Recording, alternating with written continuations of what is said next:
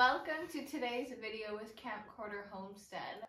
We've been heavily, heavily focusing on our channel with building just because that's like the stage that our homestead has been on is just trying to like develop our home. We're kind of in the midst of a building addition for the second floor. For those of you who are just jumping on, aren't sure what we were doing, we were building a second floor addition out of pallets.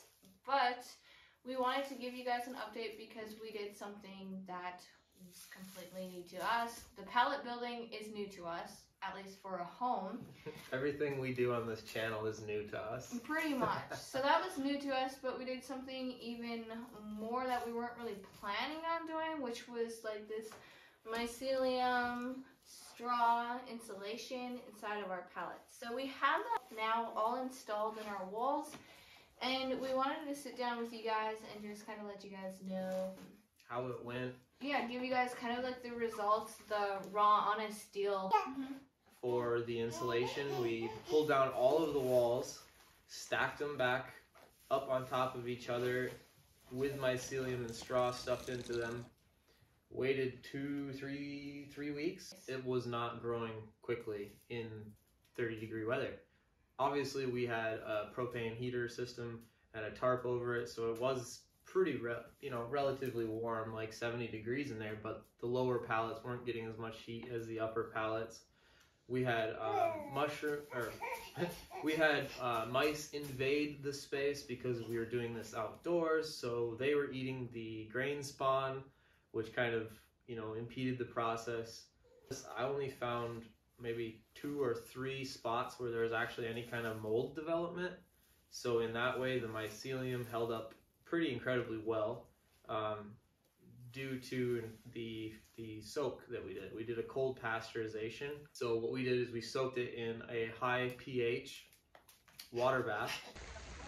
So in total, I believe we have around 17 pallets that we need to um, absorb in this water for 24 hours. The idea is to soak them for 24 hours with lime and we'll be testing the pH. We're looking for a pH around 10. We got full video on all that, the process start to finish.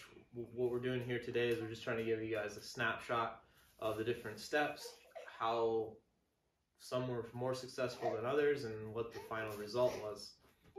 So after cold pasteurization, that's when we put the grain spawn in and we started to inoculate the substrate, keeping the temps inside the tarp at uh, probably 70 degrees roughly. One of the things we would have done uh, to improve the growth of the mycelium would be to have had a mister or some sort of a steaming process so that there was more moisture in the air. So It was drying on the ends so after about two, three weeks of slow mushroom development, we and, and fighting off mice and cold weather and tons of propane gas later, mm-hmm. we um, decided to just put them up, see what they were looking like.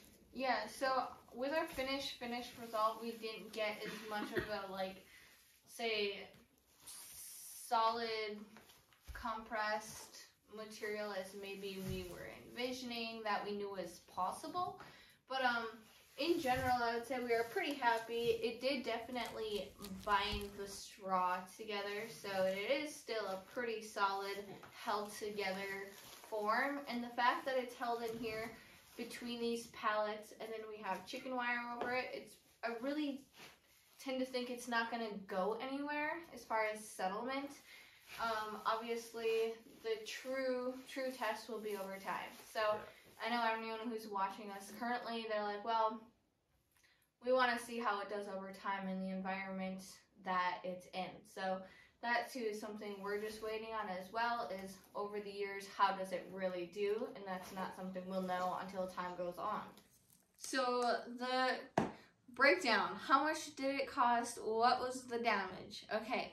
So in straw, we spent $50. Big bag of hydrated lime, $22. And then the oyster spawn, we spent $80 for that. And then because we had to heat a space, we purchased propane. Yeah, it was $130 roughly. Not a very feasible process to do late fall, early winter. Let's just put it that way. If you're wanting to save money, like it just didn't make sense. Like we would have been better off saving ourselves the money and the labor that we put into this and purchased some insulation. Yeah, yeah. But if we were fun. to have done this in the summer, that would have cut down our costs and what have you. It would have just been a nicer environment to work in, and that would have cut our costs in half. So, was it worth it? Not for this project. Yeah. the fact that we had to tear the walls back down and put them back up, I would say alone was more labor than it was worth growing it. Yeah, you were pretty free. sick for like a week after it because he was like physically exerting himself so hard in the freezing cold temperatures, standing in this ice bath of water. It was quite miserable, not gonna lie. So, wouldn't do it again in hindsight for this project. If we would have known, it would have set us back three weeks and the amount of labor they were into. There was just, yeah. Yeah, I think uh, I haven't given up on it, so there will be a future build with mushroom walls. got our minds spinning for if we were to do this again, how we could cut the labor down tremendously. Using straw in pallets is super nice, hmm and just taking chicken wire and attaching it to the outside once you've packed it is pretty easy way to go. hmm I like it. I don't know what else is there. I don't know. I mean,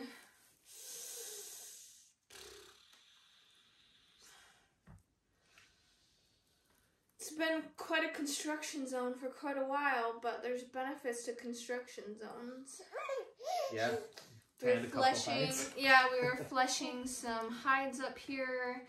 We had our deer hanging from the ceiling, frozen. the rafters or the scaffolding. Yeah, so we've been definitely making good use of this space throughout this project when we have mm. little breaks. So we're working on fleshing some deer hides, which I'm super curious to see how it's gonna turn out. Check out that video. That will be coming shortly. I would say Maybe next. yeah, that's probably gonna be a next week videos. My thoughts probably. But it's our first time, so we don't really know how the results will be. Just like everything else on this channel. Yeah. We're the ones. We're the ones. Basically, like if you guys watch us and we suc are successful at it, you can be successful at it because it was our first time doing it. So Mhm. if we can do it, anyone else can do it. Pretty much, I'd say. Not many will try, but Not all- could. Not all are crazy enough to try. That's for sure. Yeah. And then we also have our new toilet that's going to get installed tonight. And that's going to be pretty exciting. It's going to be a temporary install, but it'll do its job. We've uh, gone through, what, three different versions of toilets since we've been here? Oh yes. Sometimes it's five gallon bucket underneath the stars. Um. We did like our separate.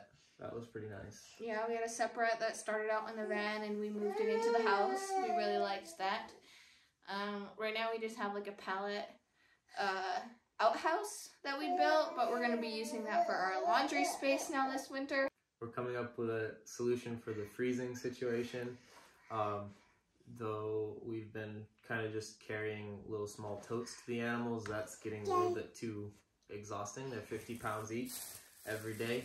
So we're going to bring a 55 gallon in close to the Hyper Adobe, and we're hoping that the thermal mass of the Hyper Adobe plus a little insulated bump out is going to keep that from freezing on these like negative temp days. So yeah, we have a lot of things we're trying to develop at once. Keep everybody alive and warm.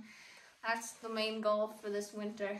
And Yep. then uh, hopefully we'll Well, the main goal for this winter is little baby. yeah get healthy, Yeah. get a nice little space for our next little baby. All right. Cool. Well, thanks for watching, guys. As always. Well, make sure you subscribe